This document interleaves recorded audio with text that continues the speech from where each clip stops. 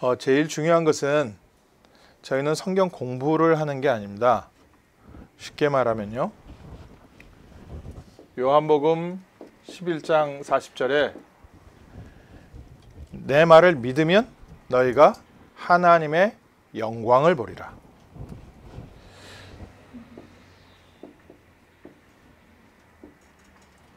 지금 우리와 함께 하시는 하나님의 영광을 체험하는 게 제일 중요합니다. 말씀을 듣고 믿음이 회복되어지고 우리가 신앙생활을 good Christian으로 한다는 뜻이 아닙니다. 제일 중요한 것은 뭐냐면요. 하나님께서 지금 나와 함께 하시는데 함께 하시는 능력과 힘과 증거를 우리가 누리면서 살아야 됩니다. 가끔요. 이렇게 그 기계 좋아하는 분들 봅니다.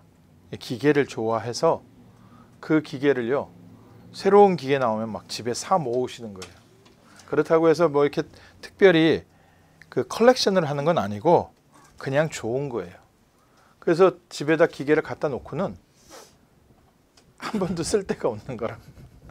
그래가지고 거라지에 보면요, 이 남자들의 로망인데 그 쫙 tool들 걸려 있어요. 근데 보면 다 한 번도 안 쓴 거야. 그거 겨우 갖고 와가지고 막 좋은 tool 갖고 와가지고 겨우 합 그 나무 하나 자르고 또 넣어놓고 또 애들이 와서 건들려면 못 건들게 하고 어, 좋긴 한데 참 의미 없잖아요. 본인의 마음은 참 만족스러울지 몰라도 실제 좋은 tool이 있다면요. 그걸 사용해서 누구는 그 tool을 가지고 집을 짓기도 하고 누구는 그 tool을 가지고 의미 있는 걸 만들기도 하고 가구를 만드는데 아무리 우리에게 tool이 많아도 그게 그냥 벽에 걸려 있다면 뭐 글쎄요. 별 의미 없지 않을까.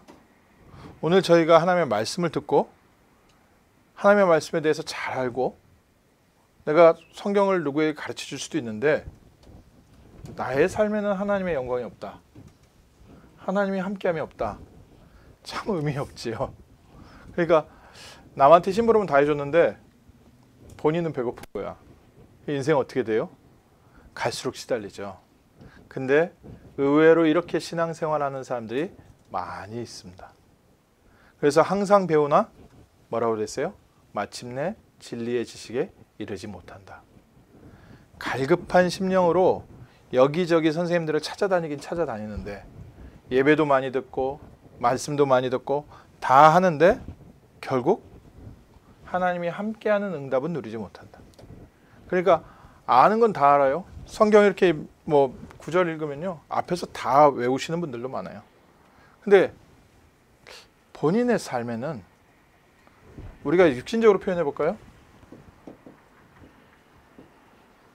평안은 없어요.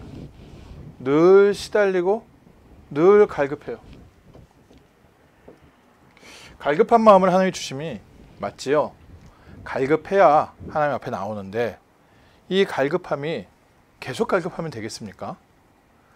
목마른 사람이 물을 마시면 시원해야 되는데 뭐, 물을 마셨는데도 시원하지 않다. 그러면은 뭐예요? 병 들었든지 아니면 물 아닌 다른 걸 먹었든지 아니면 물만 사서 모으고 있든지 우리가 하나님 말씀을 들을 때요. 진짜 나의 삶에 하나님의 영광을 보리라. 이게 가장 중요합니다. 오렌지 카운티에 저희가 지금 수요일 모이고 금요일 또 모이고 주일 모입니다. 모일 때마다 하나님이 나와 함께 하심이 체험되어지고 누려져야 됩니다. 그래야 딴 거 다 떠나서요. 우리 전도 세계보고마 다 떠나서 내 마음이 일단 숨 쉴 수 있어야 됩니다. 숨 쉴 수만큼 갈급한 심령으로 평생 쫓아다니면 그 얼굴이 굉장히 좀 형용하기 힘든 표정으로 바뀝니다. 그러니까 하나님 말씀은 많이 알기 때문에 뭐 이렇게 영적으로는 고귀해 보이는데 마음은 갈급하기 때문에 이게 좀 늘 불만 섞인 표정이 섞여 있고 그러니까 그런 사람들은 얼굴 주름도 좀 희한하게 가요. 평 보통 사람에게 주름 가지 않는 부분에 주름이 가면서 뭐 이렇게 되게 난해한 얼굴. 그래서 몽크의 그림을 보는 듯한 이렇게 절규. 오늘 우리가요. 정말 하나님이 주신 힘 얻으셔야 됩니다. 이 은혜와 응답이 말씀 들을 때마다 내가 행복해야 우리가 수요일, 금요일 모일 때마다 하나님은 그 다음에 은혜를 주십니다. 계속 갈급한 상태에서는요. 딱 할 수 있는 말이 뭐예요? 내가 너와 함께 있다. 함께함을 누려야 함께 하시면서 하나님 지금 무엇 하시는데요? 질문이 될 거 아니에요. 계속 갈급하니까 내가 너와 함께 있다. 내가 너와 함께 있다. 그 불안해하는 아이들을 위해서 항상 해주는 얘기잖아요. 괜찮아, 괜찮아, 괜찮아, 괜찮아. 계속 불안해하면요, 괜찮아, 괜찮아. 그거밖에는 할 말이 없는 거예요. 괜찮아, 괜찮아, 괜찮아, 괜찮아. 좀 나아질 거야, 나아질 거야. 1년이 가고 2년이 가도 괜찮아, 괜찮아, 괜찮아, 괜찮아. 10년이 됐는데도 괜찮아, 괜찮아. 그러면요, 이거는 좀 깊이 치유가 필요한 상태입니다. 우리가 괜찮아, 괜찮아는 순간순간에는 있을 수 있어도 이제는 하나님이 주신 힘과 능력으로 가서 정복하자. 이래야 되는데 그 말을 들어서도 실제는 내가 힘든 상황이기 때문에 말도 알겠고 중심도 맞고 다 좋은데 뭐가 없어요? 내 마음에는요 평안이 없습니다. 그러니까 이렇게 만족이 안 되죠. 처음에 말씀을 듣고 은혜를 받을 때는 힘을 얻는 것 같은데 어, 그런데 내 안에 실제 하나님 주시는 평안이 아니마니까 이건 지금 제가 평안하세요 이 얘기가 아니라 실제 평안이 임해야 될 거 아닙니까? 뭔가 사람이 마음의 따뜻함이 내게 생겨야 될 거 아닙니까? 이거는 성령의 역사거든요. 이거는 교육으로 되는 것도 아니고 이거는 우리가 마음 먹는 부분이 아니에요. 실제 말씀을 듣고 잠깐 기도를 하는데 하나님이 내 영혼에 힘 주시는 것이 진짜 있습니다. 나는 말씀을 들었는데 뭔가 이게 말씀이 내게 답이 되면서 힘이 되면서 한순간 내가 어, 괜찮지. 이 믿음이 확 들어오는 시간이 있어요. 이 시간이 있어야 된다는 겁니다. 이 시간이 있어야 그 다음 일을 할 수 있는데 이 시간이 없으면 자꾸 듣는 거에서 위로의 말만 듣다가 끝나는 겁니다. 조금만 하나님이 주시는 평안을 얻는 시간이 필요합니다. 그래서 오늘 말씀 들으시는 중에도 하나님 내게 믿음 주시고 평안 주옵소서. 우리가 지금 불안한 상황들이 많이 있거든요. 계속해서 우리 랩런트들 불안한 상황 계속됩니다. 언제까지요? 학교 졸업할 때까지 중간고사, 기말고사, 퀴즈 계속 있어요. 또 좋은 학교 가야 되죠. 늘 불안한 마음으로 살아야 돼요. 학교 졸업하면 어떻게 돼요? 또 이제 미국의 많은 아이들은 론 갚아야 돼요. 론 없이 학교 졸업하는 거는 굉장히 공부를 잘하든지 아니면 부모가 공, 저 경제력이 있든지 아니면 얘가 정말 대충 다녔든지 뭐 그 중에 하나인데 정말 제대로 학교 다니면은 대부분 대학 졸업하고 나서 자기가 갚아야 되는 론도 있고 또 자기가 앞으로 직장도 해야 되고 이 불안함이요 한 순간도 떠날 수가 없습니다. 그래서 어릴 적부터 하나님이 주시는 힘을 얻는 시간 이 부분은 중요하게 체험되어져야 됩니다. 그래서 오늘 이 시간에 어쨌든 뭐 뭘 붙잡아 보려고 하시지 마시고 하나님이 주시는 힘을 얻으세요. 나도 이 힘을 체험하고 이 평안을 한번 누려보게 하옵소서. 성경에 뭐라고 되어 있습니까? 하늘과 땅이 사라지고 구속한 주만 보이도다. 찬송에 나와 있는 게 정말 성경에 쓰여져 있는 모든 사람들이 겪은 게 나에게도 임하는 이 응답을 주옵소서. 이 응답을 한 번, 두 번 체험하고 있다 보면 그 다음부터는 좀 든든한 믿음의 발판이 세워집니다. 이 믿음의 발판이 세워지지 않으면 계속해서 흔들립니다. 그래서 내 신앙에 있어서도요, 뭐가 필요해요? 플랫폼이 필요한 거예요. 플랫폼이 안 되니까 좀 되다가 흔들리고 되다가 흔들리고 그러니까 나는 1층, 2층 건물을 쌓아 올리고 싶은데 조금 올리면 또 무너지고 또 무너지고 또 무너지고 그래서 은혜 받으셔야 됩니다. 하나님이 주는 힘 얻으셔야 됩니다. 하나님은 우리에게 많은 것을 요구하고 계시지 않습니다. 우리가 행복하기를 원하십니다. 우리가 행복하고 그 행복을 다른 사람에게 전달하기 원하십니다. 그러니까 세계보고만은 내게 임한 행복을 전달하는 건데 내게 임한 게 없으니까 가서 앵무새처럼 말할 수밖에 없는 거죠.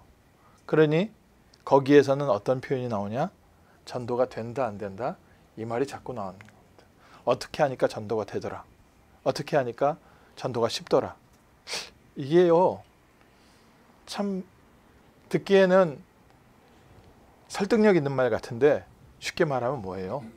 이분은 가서 전달할 내용이 없다는 겁니다. 그러니까 전도가 잘 된다. 이 얘기는 뭐예요? 내가 하는 말이 잘 먹혀 들어가더라. 이 말이잖아요.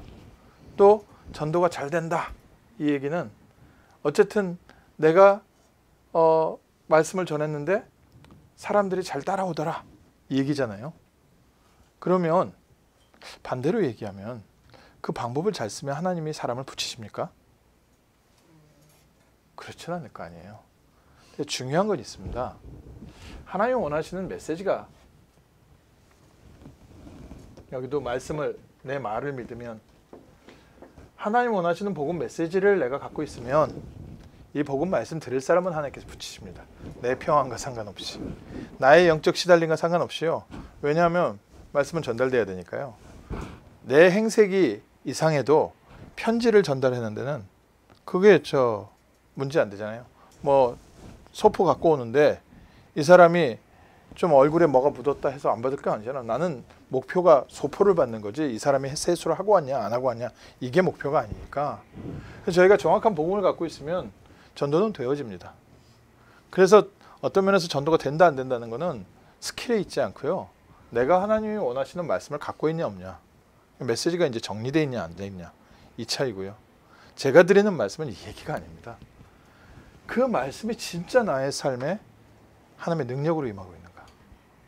그래서 오늘 예배가 행복한가? 오늘 이 모임이 행복한가?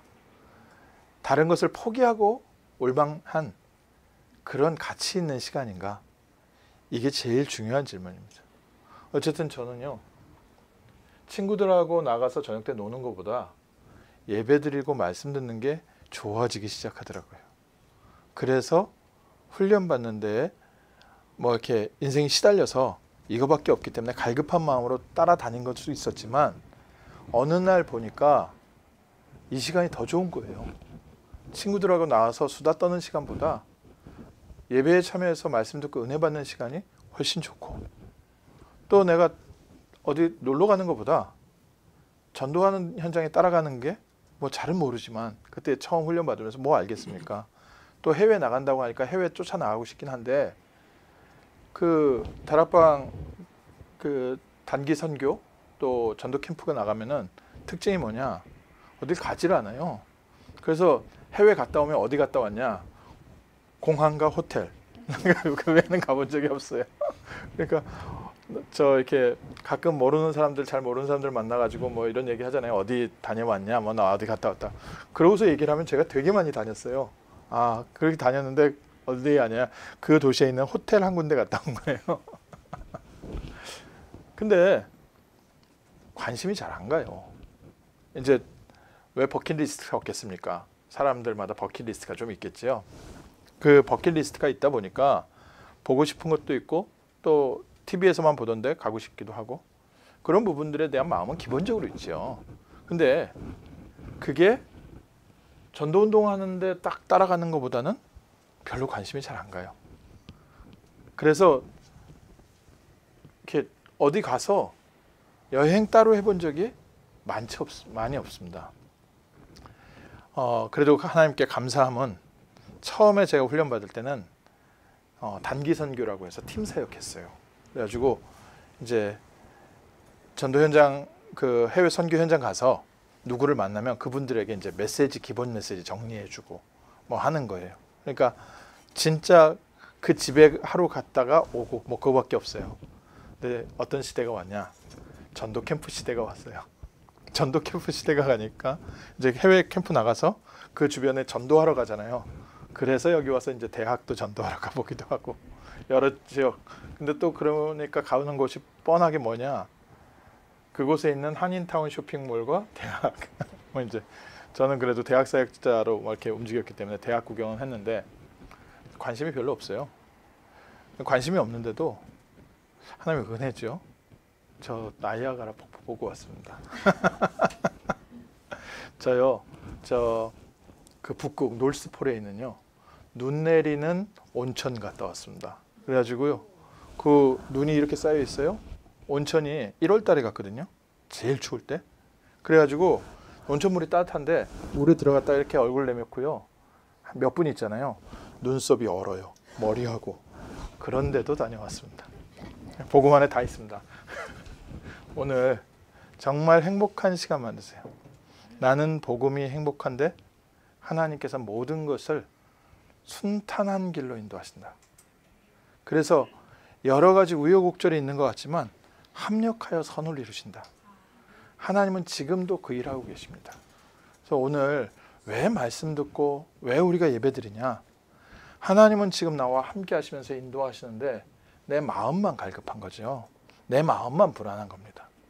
말씀을 통해서 힘을 얻고 있으면 하나님이 합력하여 선을 이루시는 그 순탄한 길을 순탄하게 인도를 받습니다. 그러니 그 지난 다음에 어떤 간증이 남습니까? 오휴 죽었다 살았다 이 얘기가 아니라 하나님께서 모든 일 하셨다. 지금도 하나님께서 놀랍게 일하고 계신다. 그러니까 내 삶이요 점점 건물이 세워지는 겁니다. 이거 보고요 파수망대라고 하죠. 워치타워. 점점 믿음이요. 이제는 든든해지면서 무언가 세워져 올라갑니다. 높은 곳에 올라가야 멀리 보이기 시작합니다. 내 믿음이 조금씩 조금씩 흔들리면 흔들림 없이 세워져 올라가면 주변 환경이 보이고 미래가 보이기 시작합니다. 그러면 다른 사람이 하는 말을 들을 수 있는 여유도 생깁니다. 그 전까지 남의 말 못 듣습니다. 어떻게 남의 말을 들어요? 네가 내 사정을 몰라서 그러지 이게 가슴에 가득 차 있는데요. 아무리 좋은 말을 옆에서 해도요. 그건 네가 내 사정을 안 겪어봐서 그래. 이거 말고는요. 아예 마음에 단 하나의 틈도 없습니다. 조금 내가 존경하는 분이나 이해할 만한 분이 얘기를 하면 그냥 그 얘기를 위로로 듣지 실제 그런 얘기 듣고 나서요. 상처받았다는 분들 참 많습니다. 힘이 없으니까. 그래서 말해주라 말해주지 말라 얘기가 아니라 내가 그 상태면 안 되잖아요. 다른 사람은 그럴지 몰라도 그런 사람들은 저희가 조심스럽게 대하더라도 복음으로 살리면서 대하더라도 내가 남이 요만한 말 한마디 하면 뒤집어지고 내 주변 사람들이 막 나에 대해서 이렇게 평가하면 그것 때문에 며칠 동안 잠 못 자고 인생 그렇게 해서 어떻게 살겠습니까? 정말 믿음이 세워져야 주변 환경도 보이고 그 사람이 하는 말도 그 말하는 이유도 보이고 내가 거기서 배울 점도 듣고 그리고 내가 급하지 않기 때문에 늘 여유 있게 먼저 준비합니다. 그래서 응답도 미리 받고 간다는 게 말씀을 미리 받고 갔기 때문에 환경에서 누가 뭐라고 해서 당황하는 것보다는 예상되었던 질문들에 대한 대답이기 때문에 그 다음 부분을요 인도받을 수 있습니다. 그러니까 다른 사람이 보기에는 마치 꼭 준비하고 온 사람처럼 보이죠. 너 이거 준비하고 왔지? 그런 얘기 듣는 게 좋은 겁니다. 왜냐? 그 사람이 봤을 때는 이 사람은 미래를 보고 있는 사람이구나. 우리가 그런 힘이 있거든요. 그리고 이제는 다른 사람들에게요. 이게 전달되기 시작합니다. 주변에서 보면서요. 압니다. 내가 시달리는 상태에 있는지 하나님의 응답 속에 있는지. 그러니까 굳이 말하지 않아도 주변 사람들이요 우리가 변했다는 거를요 느껴요. 어떤 면에서 내가 못 느끼지. 나는 조금씩 조금씩 조금씩 날마다 조금씩 움직여 가니까 잘 모르는데 주변에서 봤을 때는요 완전 달라져 있습니다. 그러니까 안테나가 된다는 것은 내가 가서 뭘 통하고 열심히 하기 이전에 중요한 하나님이 주시는 참된 평안, 하나님의 영광을 날마다 체험하고 있으면 결국 나를 통해서요 우리 주변에 전달되게 돼 있습니다. 어, 주변에 좋은 신앙인들이 많은 분이 계시고요. 주변에 불신앙을 많이 말하는 사람이 계신 분도 있습니다. 그러면요, 기도하셔야 됩니다. 나의 영적 상태를. 내가 참 감사하게 주변에 좋은 사람들이 많네, 좋은 신앙인이 많네. 참 감사한 일이고요.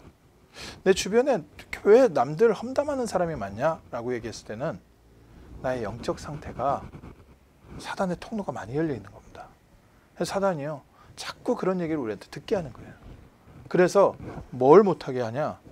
하나님께서 지금 인도하고 계시는 것보다는 내 안에 뭔가요? 불만이 싹 다른 사람에 대한 미움이 싹 그래서 결국에는 뭘 놓치게 만들어요? 하나님께서 나와 함께 하시면서 인도하는 것을 자꾸 놓치게 만들어요. 그래서 기도하셔야 돼요. 하나님, 정말 나에게 성령의 충만함을 주옵소서. 저도 이 응답을 받다 보니까 그 어느 날 내 주변의 사람들이요 뭐랄까요? 말 이렇게 심부름 해다 주잖아요. 다른 사람 말 이렇게 모이 먹어서 이렇게 갖다 주는. 이 말이요 현격하게 떨어졌어요. 지금 뭐 기본적으로 알아야 되는 것 외에는 별로 저에게 이렇게 다른 사람 말 전달해 오는 게 별로 없습니다.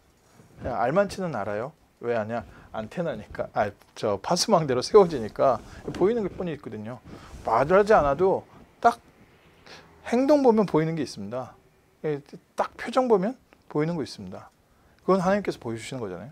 근데 그게 하나님 주시는 은혜를 누리다 보니까 하나님께서 볼 수 있는 여유를 주시니까 아니면은 딱 내가 생각한 것밖에 안 보입니다. 내가 생각한 목표 그거를 이루기 위해서 이게 도움이 되냐 안 되냐도 잘 몰라요. 그냥 딱 내가 원하는 대로 안 되면 뭐예요? 불안합니다. 내가 원하는 대로 안 되면 폭발합니다.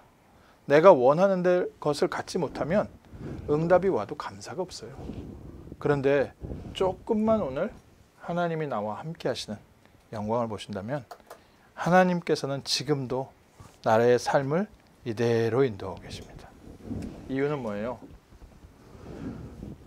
하나님은 내가 행복하기 원하시고 나를 통하여 이 세상에 행복을 전하기 원하십니다. 아브라함을 부르실 때 처음부터 창세기 12장 3절에 모든 민족이 모든 가족이 영어로는 all family in the world 뭐 그렇게 돼 있어요. 모든 가족들이 너를 통해서 복을 얻게 될 것이다. 하나님은 우리를 통하여 이 세상을 축복할 계획을 갖고 계십니다. 그래서 우리에게 먼저 주신 이름이 예수 이름입니다. 예수님이 누구십니까?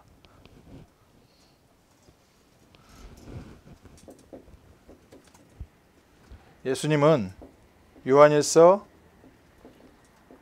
2장 20절에서 27절에요. 예수님은 그리스도이십니다. 하나님께서 우리에게 예수를 메시아로 보내주셨습니다. 그래서 예수가 그리스도이심을 부인하는 영이 바로 적그리스도라고 했어요. 거짓의 영이라고 했습니다.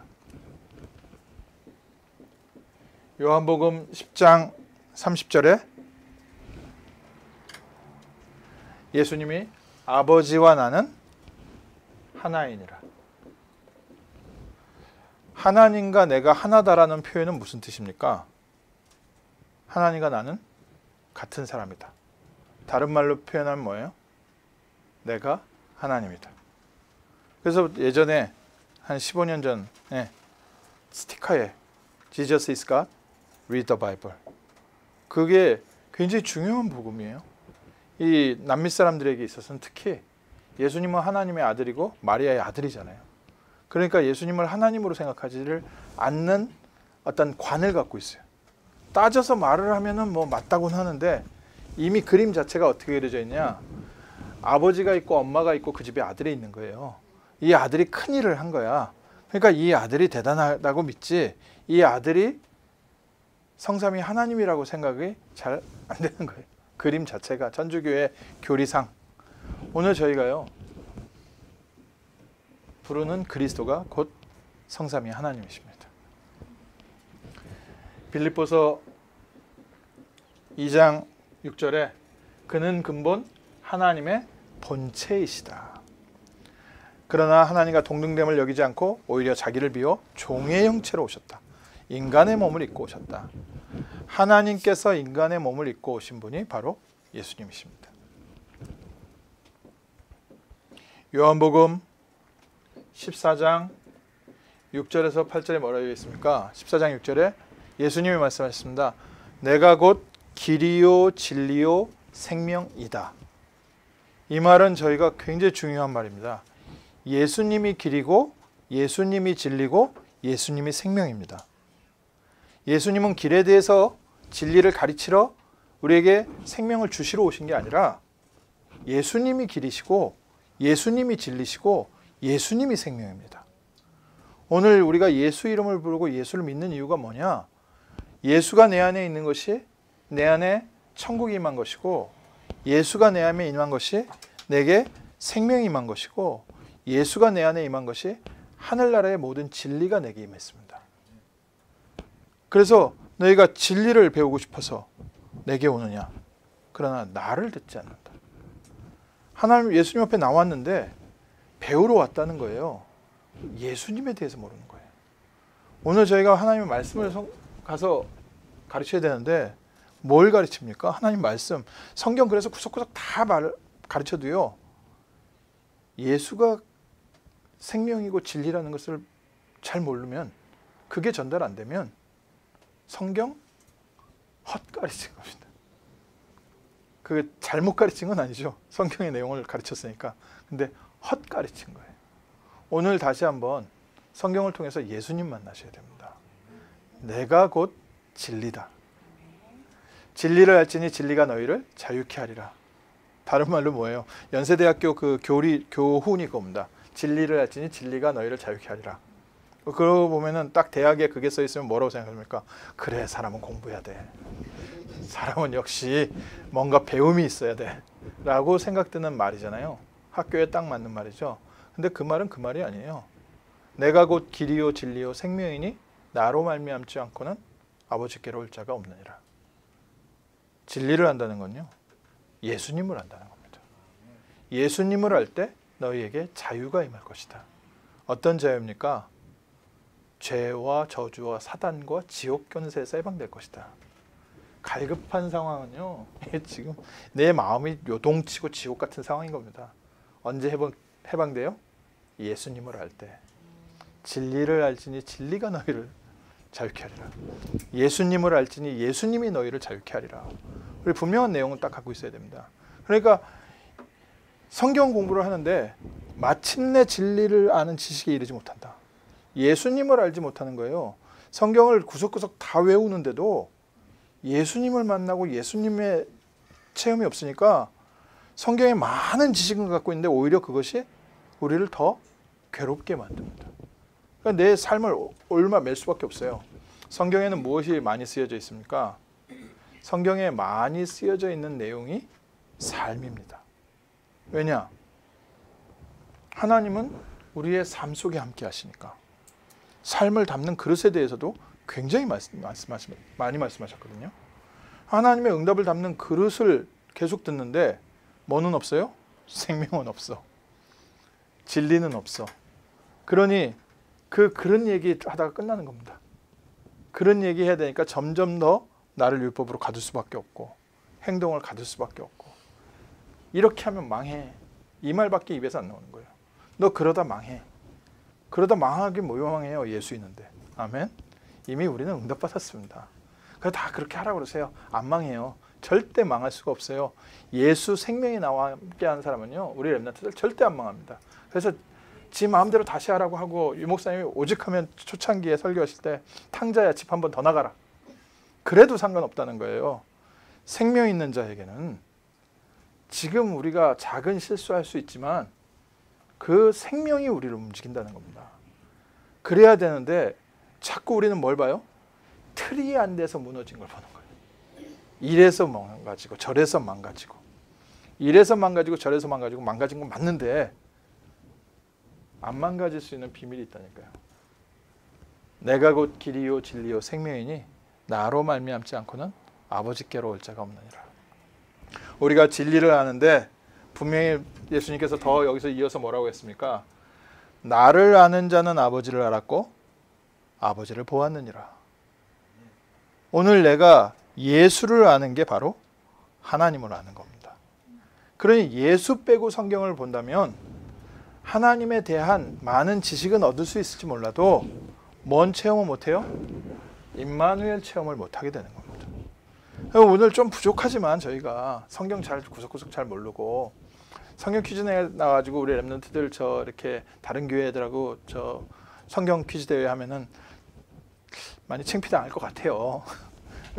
그런 거 안 가르치잖아요. 우리 열두 제자 이름 어떻게 되는지, 열두 저 지파의 이름 어떻게 되는지 이런 거 안 가르치잖아요. 저도 잘 기억 못 해요. 그냥 저 성경에서 읽다 보면 그렇지. 근데 우리는 뭐에 대해서는 알아요?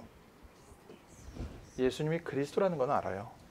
그리고 나 예수님에 대해서 잘 모르지만 예수님이 나의 구원자 그 안에서 살고 있다는 건 알아요. 그게 중요해요. 지금 당장에요. 어, 자녀들 초등학교 다니는 아이들한테요. 부모 직업 뭔지 아니 물어보세요. 아는 애들이요. 한 반에 10명 중에 한두 명 있을려나? 잘 몰라요. 아버지 뭐 하는지. 근데 아버지가 어떤 사람인지 애들이 더 잘 알아요. 왜냐 같이 살고 있으니까. 오늘 우리가요. 성경에서 예수님이 누군지 잘 몰라도 괜찮아요. 예수님과 함께 사는 은혜만 응답이 있어야 됩니다. 중요한 건 뭐예요? 아버지 지금이 뭔지 모르는데 관계가 아버지야. 그럼 됐잖아요. 예수님에 대해서 내가 잘 모르는데 성경 구석구석 잘 모르는데 알아야겠지요. 이제 나중에 커지면 더 잘 알고 아버지가 어떤 사람인지 어떤 일을 했는지 알아가겠죠. 그러나 그보다 더 중요한 것은 관계 속에 있다는 겁니다. 제 아버님에 대한 기억 중에 하나 제게 잊혀지지 않는 기억이 있어요.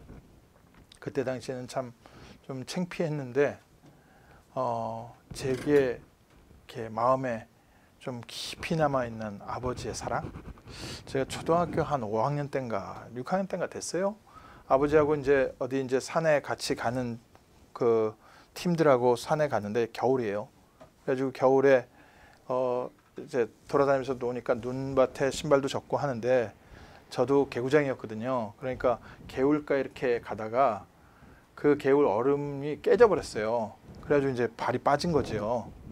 그랬는데 이제 저희 아버지가 난리가 난 거예요. 너 이 한 겨울에 뭐 발 동상 걸리면 어떡하냐 하면서 이 오는 차에서 제 양말 벗겨가지고 막 손으로 문질리시고 하는 거예요. 전 창피해 죽겠는 거예요. 아, 가지고 뭐 발 한 번 그거 저 얼음물에 빠졌다고 뭐 이렇게 저 아버지 이렇게 성화를 피시나.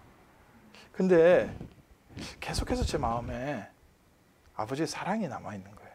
아, 그때 저는 굉장히 창피해서 아버지 제발 좀 그만했으면 그것도 막 소리 질러가면서 화내가면서 혼내가면서 그거 하고 있으니까 저도 창피하기도 하고 다른 사람들 다 있는데 거기서 저, 저 혼내면 얼마나 창피해요 모르는 사람들 앞에서 그리고 또 거기서 양말 벗겨가지고 막 반문지르고 있으니까 얼마나 창피해요 나 그만 좀 했으면 좋겠는데 아버지 계속 그러고 계시면서 막 또 소리 계속 지르고 계시고 그러니까 뭐라고 말은 못하겠고 이제 그런 상황. 근데 느껴지는 건 뭐예요? 아버지의 사랑. 오늘이요. 하나님의 영광을 누리십시오. 하나님께서 우리를 붙잡으시고 인도하시고 계십니다. 우리의 연약하고 부족한 거. 그 너 저 한겨울에 그렇게 그런데 개울가에 깨고 다니는 너 내 아들 아니야 하고서 버리고 올 거예요? 안 그런다는 거예요. 그런 줄 아시고 우리를 보호하시고 인도하고 계십니다. 오늘 다시 한번 예수님을 본 자는 하나님을 본 자입니다. 오늘 다시 언약으로 붙여봐야겠습니다. 요한복음 8장 56절에도 아브라함이 나의 때에 올 것을 기다리고 있다가 나를 보고 이 때를 보고 기뻐하였느니라. 그러니까 바리새인들이 네가 나이가 몇 살인데 아브라함을 봤다고 하느냐? 나이 50도 안 되고 이해가 안 되는 거죠. 하나님께서 오셨는데 하나님의 구원을 알지 못하는. 구약 성경에는 뭐라고 되어 있습니까?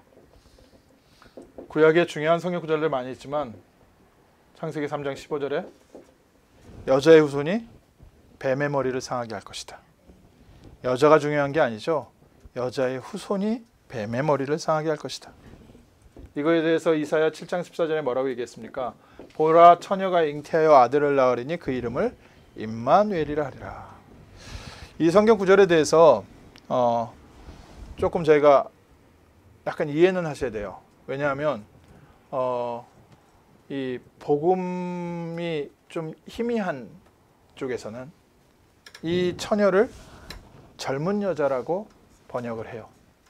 그러면 그 말이 우리가 들게 완전 이단 아니에요? 그럴 수 있는데 맞는 말이에요. 성경학자들이 신학자들이 하는 말이 성경에는 이중적 구조로 되어 있습니다. 성경은 그때 당시의 일에 대해서 말하면서 미래에 대한 언약 성취가 함께 담겨져 있어요. 그래서 이사야 시절에 그때 누군가 아들을 낳을 텐데 그 이름을 임마누엘이라 하리라. 그래서 이게 이사야 부인 얘기냐 아니면 왕비 얘기냐 이런 표현 아니면 그때 당시 그 동네에 있었던 어떤 젊은 여자 이야기냐 라고 성경 해석하는 사람들은 해석을 해요. 근데 뭐라고 써 있습니까? 이 성결 구절에서 신약 성경에서 어, 마태복음 먼저 여기부터 쓰면은 마태복음 1장 22절 23절에 선지자의 하신 말이 성취된 사건이다. 보라 처녀가 잉태되어 아들을 낳으리니 그의 이름을 임마누엘이라 하리라. 그 뜻을 번역하면 하나님이 우리와 함께 하신다. 여기서 왜 그렇게 썼는지 아세요? 임마누엘이라는 단어는 히브리어고 이때 성경은 그리스 말로 썼기 때문에요. 그래서 다시 얘기하면 제 직업은 목사입니다. 풀어서 설명하면 패스터입니다. 이렇게 말하는 거와 똑같아요.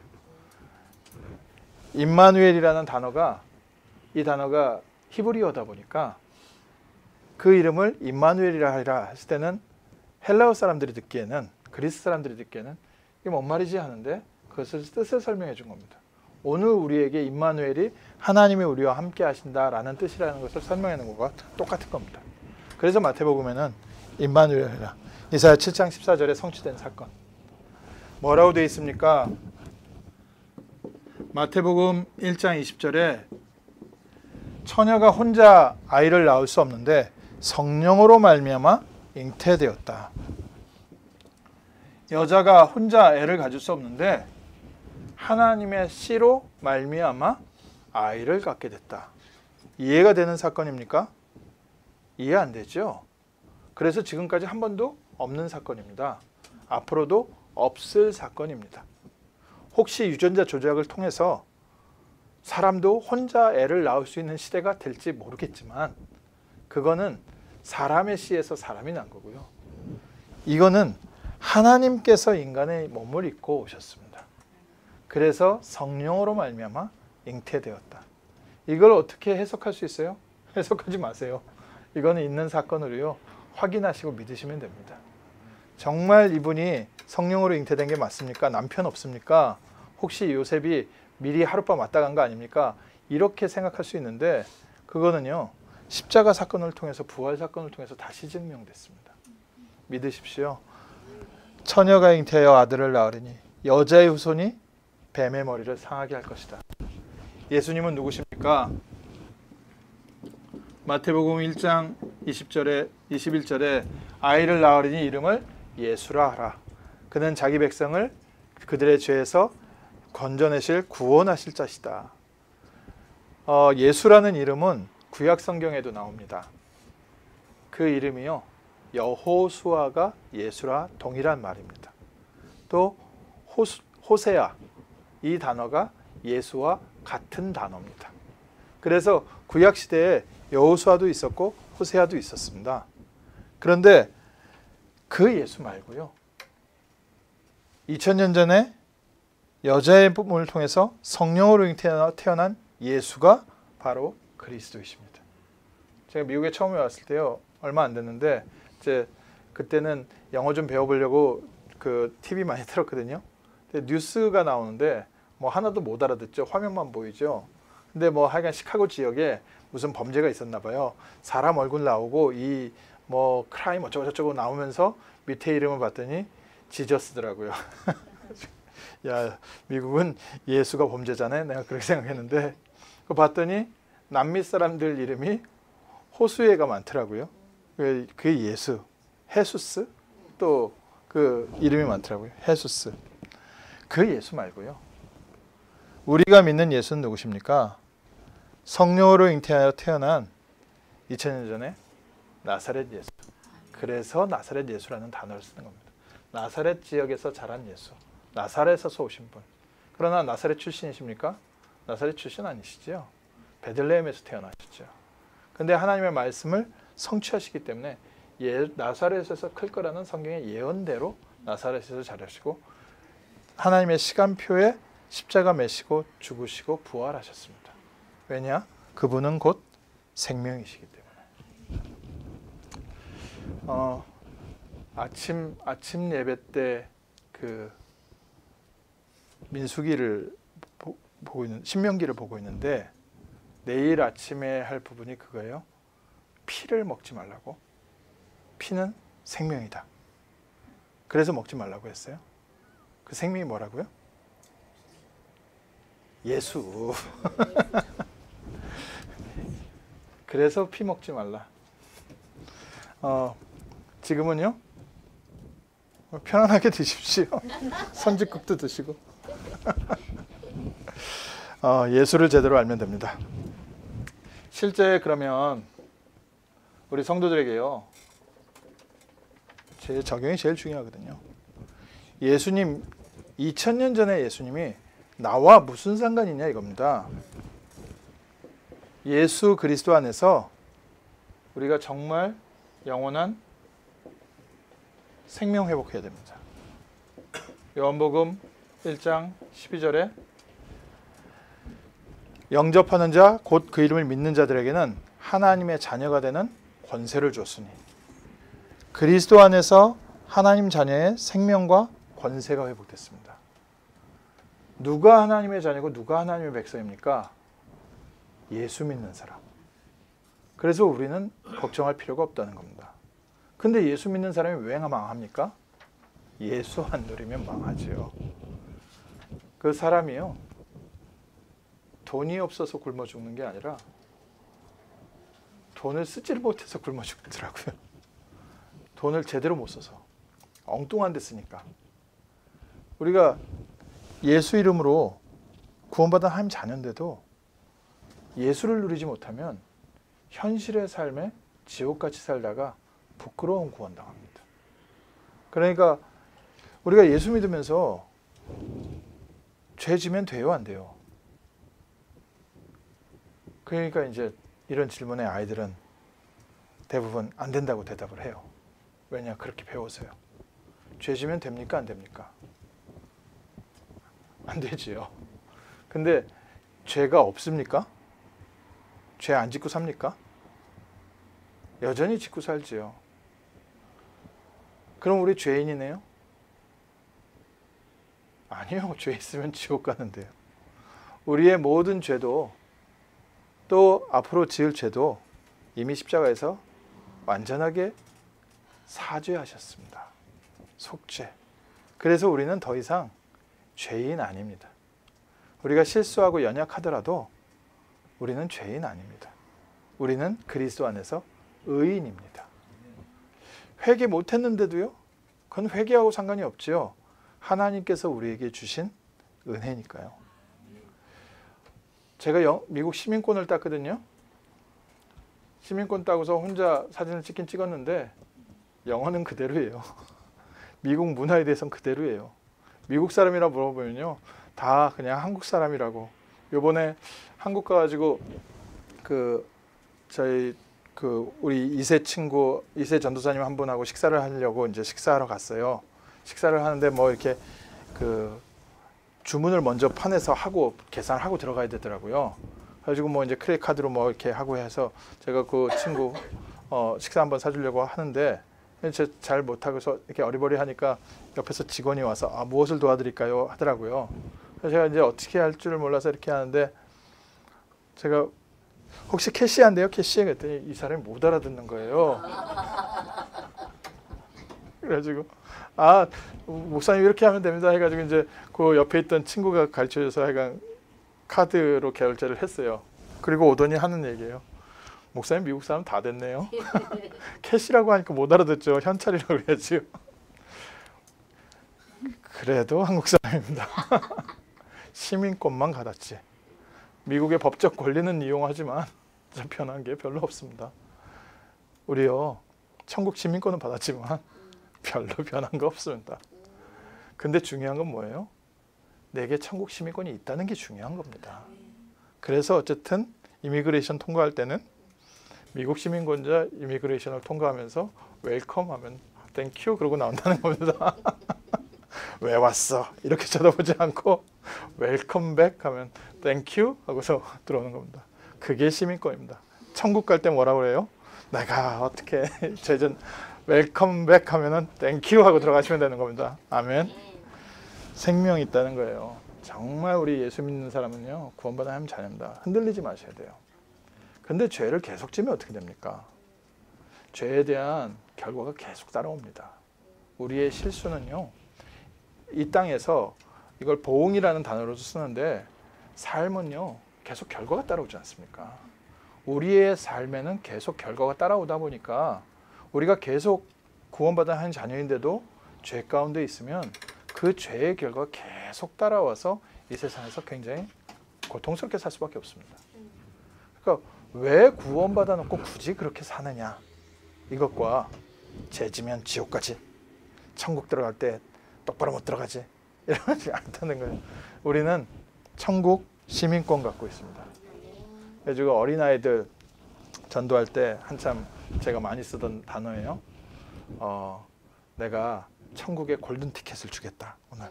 그 저 이제 윌리 왕칸가 뭐 그 그 저 골든 티켓 그거 이제 영화 보고 나서 애들이 그거 다 좋아하더라고요. 그래서 어린아이들 전도할 때 항상 많이 썼습니다. Today I'll give you golden ticket of heaven. 그러면 애들이 다 좋아해요. 내 얘기 잘 들어보라고. 그러면서 뭐라고 해요? 예수 생명. 네가 오늘 예수 그리스도를 영접하는 순간 나는 천국 입장권이 생겼다. 오늘 우리에게는요 천국 입장권이 있습니다. 오늘 우리가 그리스도의 응답 은혜에 우리도 누리고 전달하는 겁니다. 관계입니다. 로마서 10장 13절에 누구든지 주의 이름을 부르는 자는 구원을 얻을 것이다. 오늘 우리가 예수 그리스도의 이름을 부를 때 구원을 얻을 것이다. 그러면 이름 부른 우리는 뭐예요? 구원 받았다. 그리고 내가 어려운 길을 가고 있을 때 예수 이름 부른다면 걱정하지 마시라. 구원의 길로 오늘부터 인도하십니다. 우리가 때때로는 내가 막 해결해 보려고 몸부림치다가 예수 이름 부르는 걸 놓칠 때가 있습니다. 그때 생각났을 때 바로 그 자리에서 붙잡으십시오. 다시 예수 이름 붙잡으면 다시 구원의 길로 갑니다. 우리가 놓쳤다 싶을 때 그때 다시 이름 부르는 겁니다. 예수 이름으로. 하나님 큰죄 짊어 놓고도요. 모른 척하고 와서 그래서 십자가 붙잡으십시오. 감사합니다. 하나님께서 저의 부족함을 용서하여 주시고 새로운 길로 인도하여 주옵소서. 그러면 로마서 8장에 뭐라고 약속되어 있어요? 모든 것이 합력하여 선을 이룰 것이다. 다른 단어로 뭐예요? 하나님의 뜻을 이룰 것이다. 우리의 실수마저도 하나님의 뜻을 이루는데 하나님께서 사용되게 하십니다. 다윗이 바세바의 아내를 취했는데 그건 처마저 죽을 짓이죠. 자기의 정말 충성된 부하의 아내를 취하려고 아내를 살, 그 부하를 살인을 해버렸으니까요. 살인 청부를 한 거 아니에요. 그런데 그 다윗의 잘못도 하나님께서 솔로몬이 나게 하셨다. 그리고 성전 짓게 하셨다. 바세바의 아내를 통해서 솔로몬이 왔어요. 맞아요? 맞아요? 그 바세바의 아내를 통해서 예수님께서 오셨어요. 맞아요? 하나님이 우리의 연약한 정말 결정적인 실수도 오늘 우리가 예수 이름 붙잡으면 하나님께서 선으로 이루십니다. 그래서 실수하고 아이들이 조금 잘못했을 때는 되게 혼내야 돼요. 왜 되게 혼내야 되냐? 그게 잘못된지 확실하게 딱 인식되도록. 근데 되게 잘못했을 때는요. 잘해줘야 돼요. 예, 어긋나지 않도록. 보통 그렇거든요. 우리가 조금 잘못했을 때 하나님께서 되게 치시는데 되게 잘못하잖아요. 하나님께서 우리를요. 이렇게 선한 길로 인도. 왜냐 확실하게 회개하니까. 오늘 내가 좀 잘못했다. 예수 이름 붙잡으십시오. 이게 관계입니다. 우리 하나님의 자녀이기 때문에 누구든지 주의 이름을 부르는 자는 구원을 얻을 것이다. 오늘 우리가 그 은혜 속에 있는 줄 믿습니다. 그래서 어, 잘못 실수하셨을 때도 그리스도 앞에서는 그냥 모른 척하고 당당하게 나가십시오. 예수님의 말씀에 천국은 침노하는 자일 것이다. 천국은 침노가 뭐예요? 무조건 밀고 들어가는 사람, 예, 침략하는 사람일 것이다. 뭐냐? 내가 부족한지 알지만 천국 소망 붙잡을 때, 예수님 붙잡을 때, 그때 나의 삶에는 천국이 임할 것이다.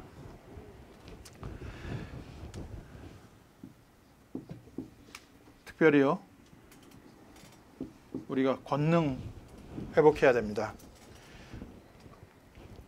요한복음 16장 33절에 너희가 세상에서는 환란을 당하나 담대하라 내가 세상을 이기었노라. 예수님께서 이기셨습니다. 우리가 이기려고 너무 노력하지 마십시오. 예수님께서 이미 끝내놨습니다. 이미 해놓은 거를 우리가 또 하겠다고 자꾸 그러면요. 귀여워서 봐주긴 하는데 그거는 의미 없는 행동이고요. 하나님께서 그리스도를 통해서 이루신 그 일을 우리가 누리고 가서 전달하는 겁니다. 너희가 세상에서는 환란을 당하나 담대하라 내가 세상을 이기었노라. 이기신 그리스도께서 나와 함께 하시면서 오늘도 우리의 삶을 인도하고 계십니다. 어,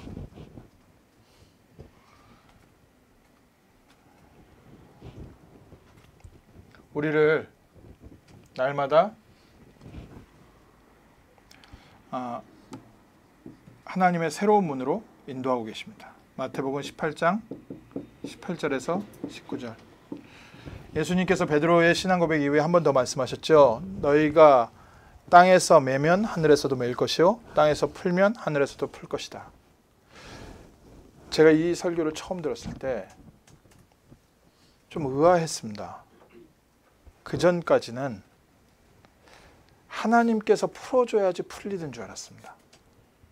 근데 설교를 듣고 저는 거의 제 어렸을 때부터 뭐 교회 다니긴 했지만 뭐 그렇다고 그렇게 열심히 다닌 건 아니지만 그래도 기도에 대한 얘기들은 참그 많이 들었는데 난 이런 얘기는 처음 들어봤다. 푸는 열쇠가 나에게 있어? 하나님께 있지 않고 저희가 많이 배운 기도는 어떤 기도예요? 하나님의 뜻대로 하옵소서. 하나님의 계획대로 맞는 기도인데 그러니까 늘 뭐냐면요. 하늘에 매여 있는 거죠. 하늘에 하늘에 뭔가 달려 있는 거 거기에 막해 매달려 있는 듯한 기도. 그래서 어떻게든지 하나님을 쉽게 말하면 협박을 하든지 아니면 하나님을 비유를 맞추든지 뭐 그렇게 해가지고 기도해서 어쨌든 하나님이 문 열어주시도록 그걸 놓고서 기도를 했는데 마태복음 16장에 그리스도 이후에 베드로에게 주신 말씀이 네가 땅에서 풀면 하늘에서 풀 것이다. 야, 이 말이 무슨 말이지? 예전에 제가 배웠던 기도는 하늘 보좌를 흔드는 기도. 그래서 보좌가 흔들릴 정도로 기도하라고. 그래가지고 목소리 터져나가게 기도하고 막 몸부림치면서 기도하고 그래서 하늘에서 하늘 보좌가 흔들려서 거기서 응답이 떨어질 때까지. 천국은 새 집이 아니거든요. 흔들어서 떨어뜨려 먹는. 근데 저희는 기도를 그렇게 배웠다는 거죠. 근데 성경에 뭐라고 되어 있냐? 네가 땅에서 풀면 하늘에서도 풀릴 것이다. 왜 이걸 나에게 하나님께서 두셨지? 오늘 우리의 믿음에 따라서 달라지는 겁니다. 오늘 나에게 하나님께서 함께 하신다는 믿음 안에서 기도하면 그 믿음은 산을 옮기게 됩니다. 오늘 내가 풀면 하나님께서 푸시고 내가 그대로 묶여 있으면 하늘에서도 기다리고 계시고 하나님께서 그 은행에서 번호표 받아가지고 내 이름 부를 때까지 기다리고 있는 것처럼 기도하면서 하나님의 응답을 기다리고 있는 게 아니라 오늘 우리가 먼저 하늘 문을 여는 열쇠를 갖고 있습니다. 천국 열쇠를 내게 주었다. 뭐라고 되어 있습니까? 마태복음 18장 19절에 두 사람이 모여서 합심으로 기도하면 내가 이룰 것이다. 하나님께서는 우리가 함께 모여서 기도하는 이 시간에 하나님이 우리의 기도에 응답하십니다. 그래서 우리의 기도 무엇이든지 기도해도 되지만 성숙한 자의 기도를 알다 보니까 하나님 뜻대로 없어서 이렇게 저희가 복음을 알다 보니까 시간 지날수록 내가 뭘 그 첨가해야 될 게 아무것도 없는 거예요. 뭐 하나님한테 내가 가르쳐 줘야 될 이유가 하나도 없어요. 하나님이 나보다 똑똑한데 뭐 하나님의 제 조언을 들어야 될 제 의견을 들어야 될 이유가 하나도 없어요. 그래서 나중에 기도가 뭐냐? 하나님 뜻대로 하옵소서.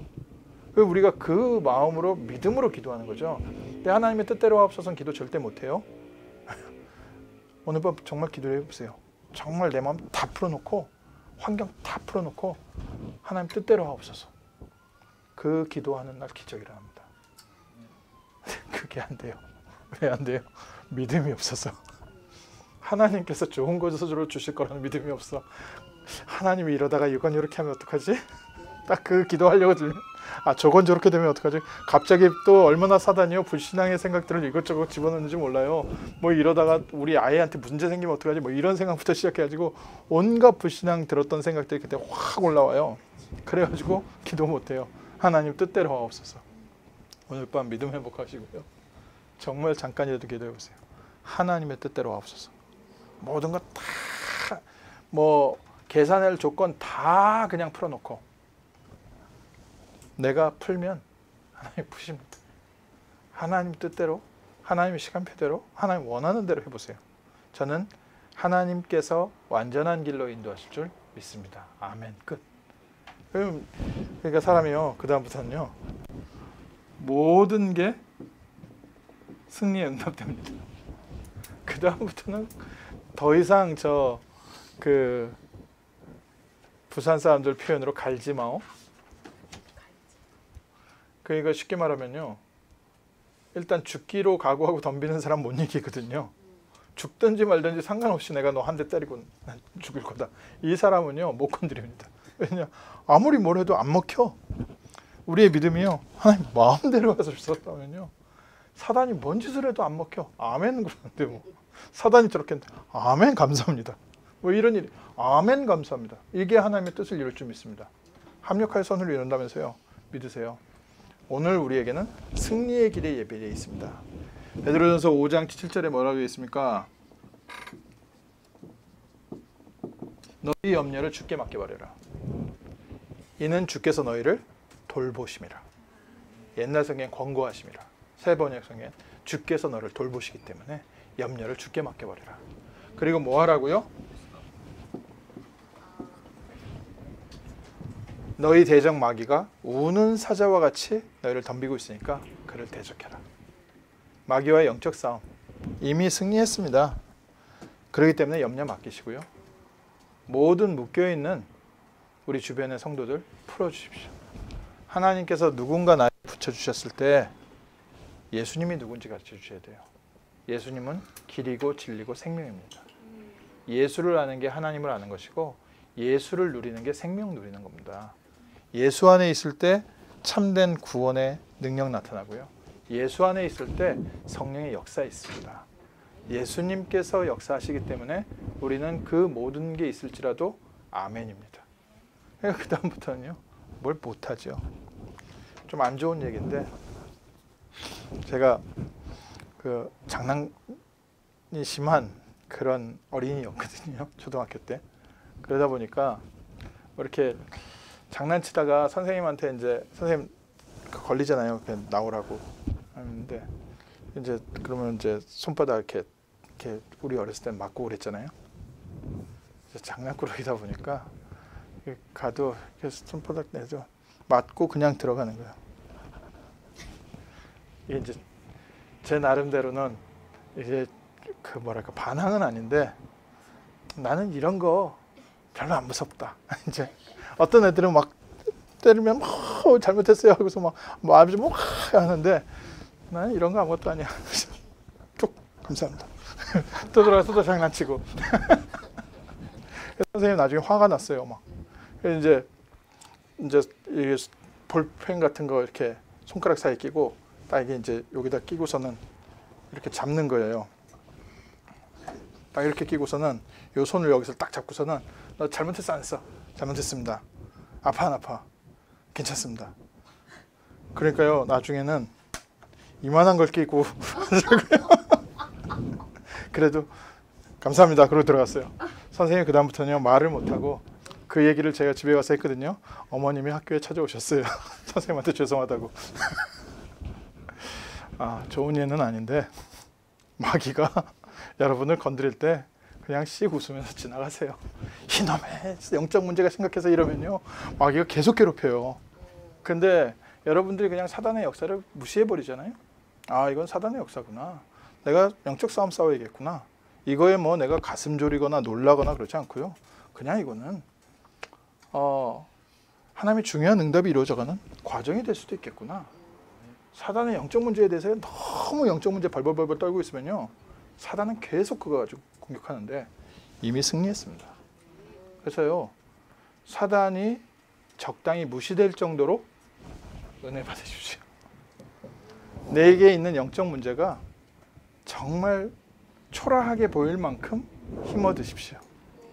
그래서 이 영적 문제를 통해서 하나님의 뜻이 이루어지기도 하고 또 영적 문제 평생 감고 가도 괜찮고 왜냐? 난 구원받아 하면 자녀기 때문에 아 그러면 고생하잖아요. 망하 안 망한다니까요. 그 망한다는 생각 때문에 망하고 있어요. 절대 안 망합니다. 구원받은 하나님 자녀는 끝까지 하나님께서 우리를 인도하십니다. 이거 신학적인 단어로 성도의 견인. 하나님은 끝까지 우리를 책임지시고 인도하십니다. 기도하겠습니다. 하나님 오늘 저에게 예수님이 누군지 구원받은 하나님 자녀의 축복과 권세가 무엇인지 다시 한번 확인하게 하심을 감사합니다. 하나님 우리가 먼저 그리스도께서 우리와 함께 하심을 누리는 증인 되게 하시고 우리에게 임한 이 평안과 행복과 이 능력을 우리 주변 사람에게 전달하고 죄에 묶여 있고 세상에 묶여 있고 환경에 묶여 있는 자들을 해방시키는 증인 되게 하옵소서. 이 오렌지 카운티와 또 전 LA 전체 또 남가주 전체와 또 하나님 이 미국 전체에 모든 우상에 묶여서 죽기를 무서워하여 일평생 종로로 타는 자들에게 참 해방과 참 능력과 참 자유를 증거하는 증인 되게 하옵소서. 주 예수 그리스도 이름으로 기도합니다. 아멘. 좋습니다.